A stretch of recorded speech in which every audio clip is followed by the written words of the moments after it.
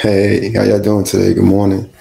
It's Nathaniel Evans. Um, before I actually start this um, presentation, I just want all, all of us to actually take a moment, you know, and get into ourselves for a moment, you know, do a brief one minute meditation. And I actually guide, you know, this session. So here we go. Close your eyes. Breathe in. Breathe out. Breathe in. Breathe out. Breathe in. Breathe out. You want to breathe in your present moment, and you want to breathe out your past. You want to breathe in your present moment. You want to breathe out your past.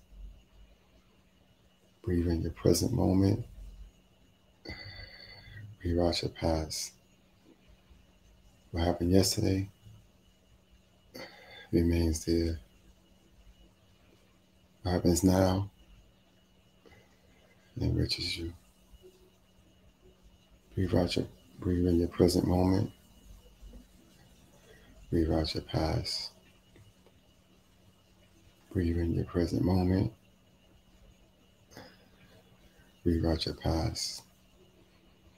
Stay in tune with you today. Let nothing get in your way.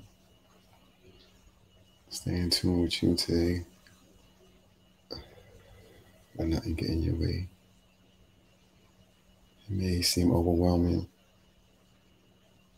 to the point that it decreases you, but you have the power to increase your moments. Breathe in your present moment. Breathe out the past. Breathe in your present moment. Hold it. Breathe out your past. Breathe in your present moment. Breathe out your past. Happy to join me in this brief session of meditation. Take a minute a day to do this. To release yourself from things that overwhelm you, things that claim you. You are no one's possession. You are not possessed by anything. You are free as a bird. You are the light of your own light. There's nothing to get in your way, not even you. There's nothing to get in your way, not even you. Just say this. There's nothing to get in my way, not even me. There's nothing to get in my way, not even me.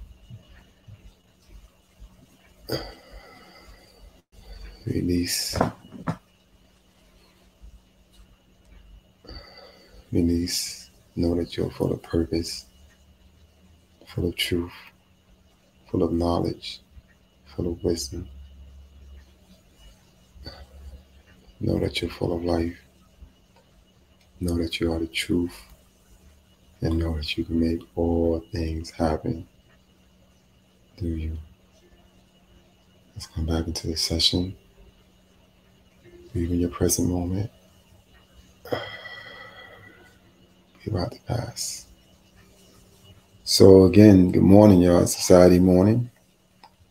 And I actually wanted to just share briefly with y'all um, a topic that actually ran across me a couple days ago. Um, and um, I think it's a purpose for things that happen in our lives and for us to experience certain things. And also, you know, for having conversations with other people and being aware of actually what's going on with you in the present moment. You know, I had a conversation with someone the other day, and they said that they're still thinking about what happened to them 30 years ago. And that kind of hit me kind of hard. 30 years ago, I was in a place that I didn't want to be in. And I was able to release myself from that place or that notion of that life that I had to create a new life for myself.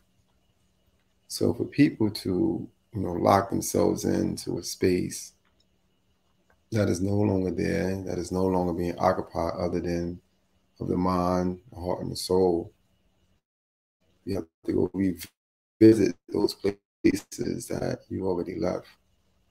You know, someone says to you, um, where do you live? You know, what's the first thing that comes to mind when someone says to you where you live? You would say probably, you know, I live on this block in this apartment. You know, I got this house. You know, I live in my trailer, right? You forget that you don't live in any of those places.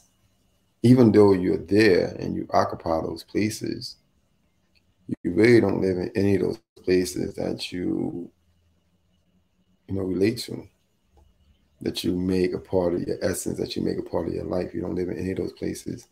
When someone asks you actually where you live at you say i live in me my body in my soul. This is where i live at. I don't live in a penthouse a mansion right? I don't live you know in this extravagant place, this hotel, you know, I live actually within me.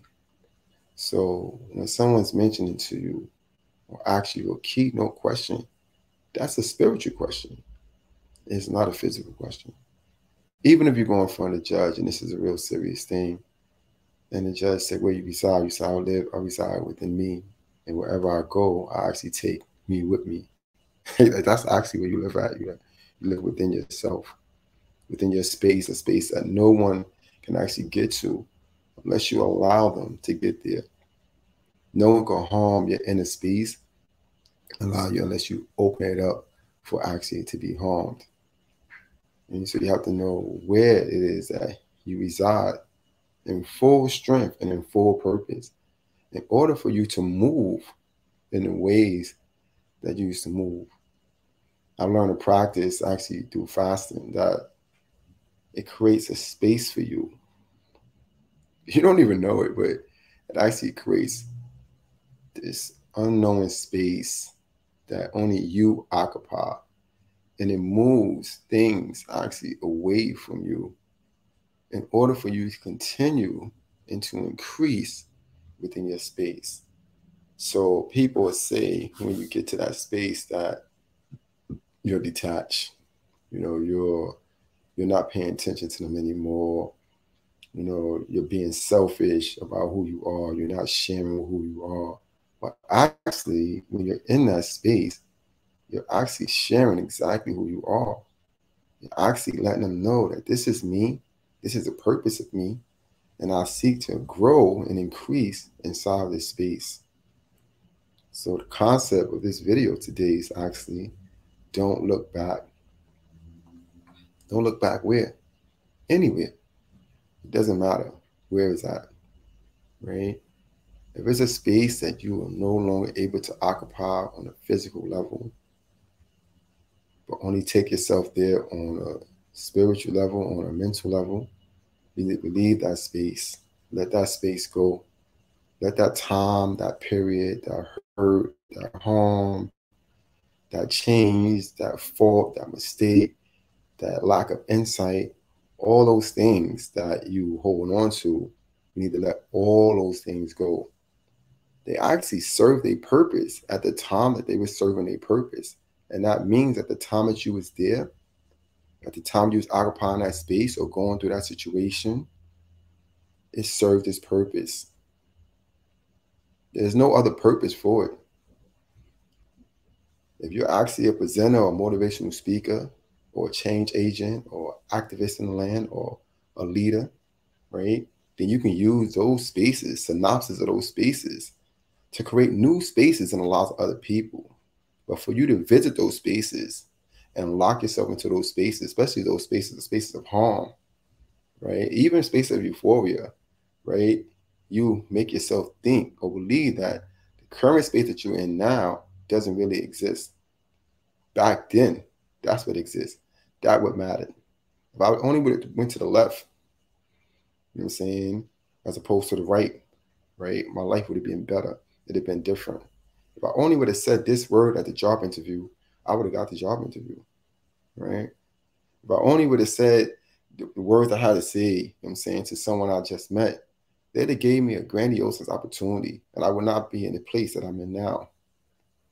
So as you're moving through your life and you're denouncing the life that you currently have, you remove yourself from the spaces of the life that you actually created for yourself and for you to actually move forward and benefit from yourself here and now. Move out of spaces that do not belong to you anymore. They serve their purpose. They've given you intellect, knowledge, you know, wisdom. Some of these spaces have given you charity of the heart, morals, values, sound, and positive belief systems, right? Hold on to the lessons that came from those spaces, but not from the space that, that was there. Again, if someone to ask you, where do you live? You would say, I live within me. Wherever I go, I take me with me. I don't live in this house. I don't live in this mansion, this penthouse, this condo, this car, right? No matter where it is that I find myself to be, I am there. There's nothing else.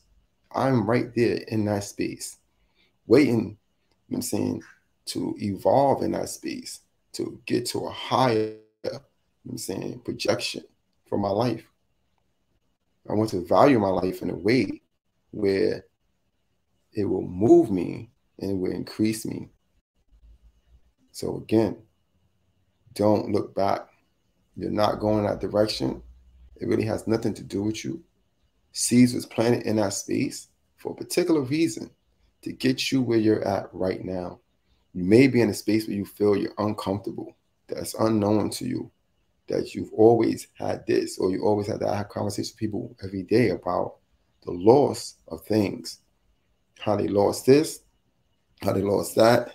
You know, they might have lost a purpose, might have lost a goal, might have lost a vision, might even lost a business or even a, a loved one, right?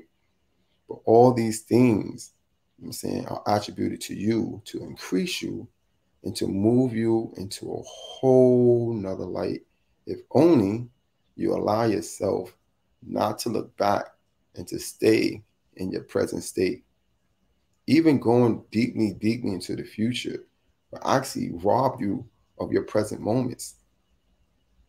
So the moments that you're in now, I'm sitting here, I'm eating this nice chicken, you know what I'm saying, dinner, right? And as I'm eating and I'm biting into my chicken, I'm thinking about steak, right? I don't lost, you know what I'm saying, the nutriments, the blessings that I'm actually receiving from this chicken right now because I don't appreciate it. I appreciate an unknown steak, you know I'm saying, and what that steak would taste like. So I'm not enjoying my present moment at this present time. Yeah, I use the chicken and the steak just as a basic analogy, and that goes with anything. It doesn't matter, right? It's actually semantics. What it actually is saying to you is this what you're eating at this moment is really, really important for you to eat, right? It might be a lesson, it might be a value, it might be a purpose, but it's for you to eat. This is why it's in front of you. This is why you're devouring it right now. But if you're not taking a lesson of what that's bringing to you, and you're overlooking a lesson because you need to go to another space and you need to be somewhere else, or you need to escape, right? Even if you do escape, you escape without the lesson. You escape without the knowledge and the purpose that that space has presented to you so you can move in your own space. Look at it appreciate where you're at, the moments and times that's being brought to you, and how you seek to evolve and grow within yourself. Wherever you go, you take yourself with you. You don't reside anywhere. You're not possessed by anything. You're not owned by anything, by anyone. Nothing could capture you, right? Even if there was a place you in places that you don't want to be, it is you that lock yourself into those spaces. Because at the end of the day, you're here, your life. I went, you know, it's funny because I actually took my daughter, you know, to get some sneakers. And, you know, the sneakers was fly. I was like, wow, these sneakers is fly, man, you know, little kid sneakers or whatever. And I was like, man, I wish I was a kid again. You know, I could have bought those type of sneakers, you know, because they ain't had these type of sneakers when I was growing up. And after a moment, my daughter, you know, she contemplated, it, she paused, and she looked at me and said, Your dad. I said, Yeah, what's up? She said, I don't wish she was a kid again. And I was like, Oh, yeah, because if I was a kid again, you wouldn't be here. And she said, Exactly. If you was a kid again, where would that leave me? How would I be here in this moment right here with you right now, actually getting these pair of sneakers if you was a kid again? And it hit me like, yes, you know, don't look back. Even with a simple thing like that, you know what I'm saying? You have to appreciate the moment that you have. I have a daughter, 11 year old daughter that I love, that I appreciate, that I'm happy that she's here. So for me to look back and say, I wish, you know, even if it's a fantasy, even if it's a you know some type of bizarre vision, it still strips away the present moment at that particular time that I was in a space with my daughter. Cherishing who you are in this moment, right here, right now, is your greatest attribute. There is nothing else. Look into be somewhere that you was once before or to journey somewhere that you have never been, right? Strips you of your present moment, strips you of your here and now, and it denies you the full nutriments, the full essence of your power. So looking back, at the end of the day, it's not always your friend. And this is something that you actually have to see for you to understand it. So once again, be in your moment. Be present in your moment. Fulfill the things that you want to do. You know, study what you want to study. Write your books. You know, become a new you. Create the, the value systems that you, you know learn throughout your life that maybe you not applying or not applying the right way, right? And stay with you at all times so you can build yourself within a space that has been provided to you. All of us have a body that they call bodies, but this is our space. This body houses our space, our true essence, our true space, only to be released in the world once we tap into it and once we say that our space is a value system, is important, right? It has a sound purpose, which is us, right?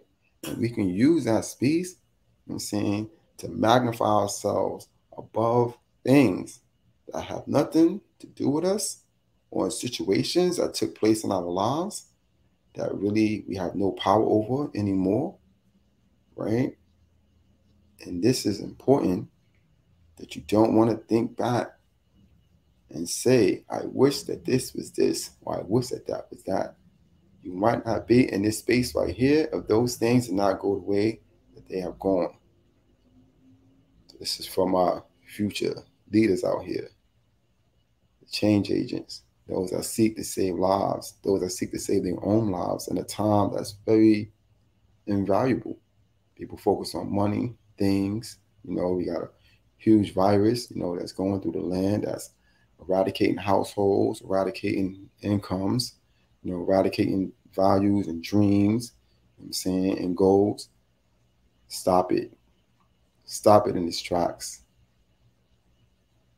Because you are extremely important in the space that you have. let's look at this. You know, it's Nathaniel Evers again. Happy to spend this uh, time with you. You know, anybody have any questions or actually want to reach out to me, I'm here. I'm open for you right? Don't look back. Be in your purpose. Be in your moment. You saying and enjoy the presence of life that you have right now. Not then, now. Not there, but here. This is the moment. This is the time. I'm saying, wake up, study, write your books, do your purpose, and live. Peace. Blessings to everybody.